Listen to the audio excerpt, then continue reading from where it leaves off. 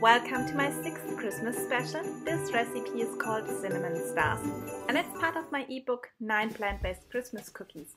We're using aquafaba for the meringue glaze instead of egg white and it works like magic.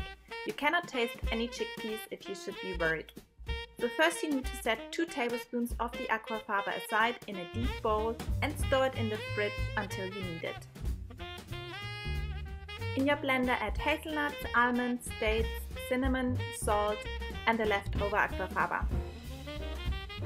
If you're using vanilla essence, add this as well.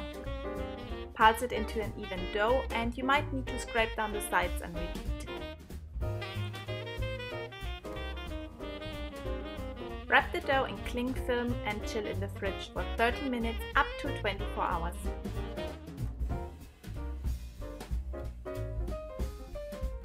In the meanwhile, we have time to prepare the meringue.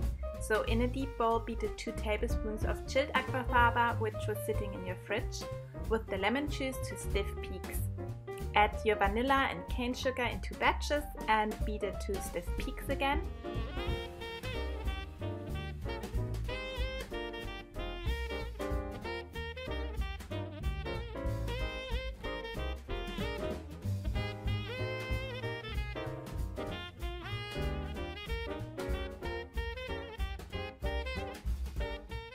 If you rub a tiny amount between your fingers, you can check if the sugar has dissolved. If you can still feel the sugar, you need to beat a bit longer.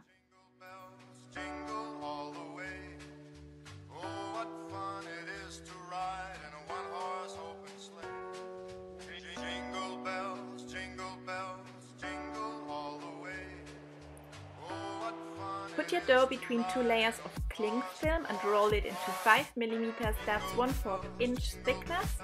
And with a cookie cutter, cut out your stars. Should your cookie cutter get sticky, you just need to dip it in some cold water every now and then.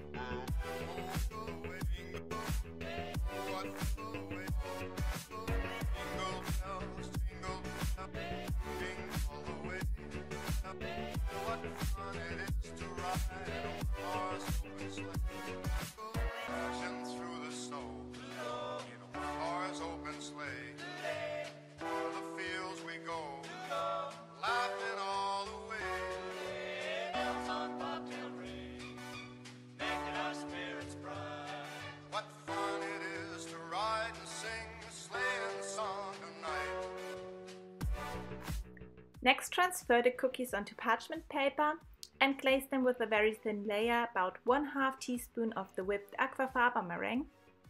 Bake them on the bottom rack, that's important, otherwise they might burn in the oven, for 15 to 20 minutes at 150 degrees Celsius, that's 300 degrees Fahrenheit. You might want to keep an eye on the cookies during the last minutes of baking and take them out before they start browning. If you want to store them, you can use a tin box and you could leave the cookies in the cold oven overnight so they have time to dry out completely. Otherwise, the meringue tends to get soft again.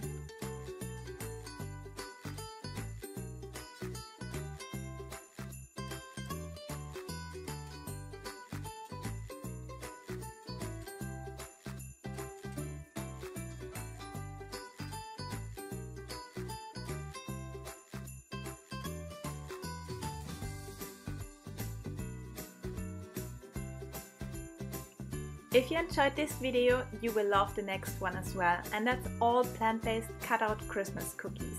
All recipes are in my ebook 9 plant-based Christmas cookies and I'm looking forward to seeing you next time. Kat.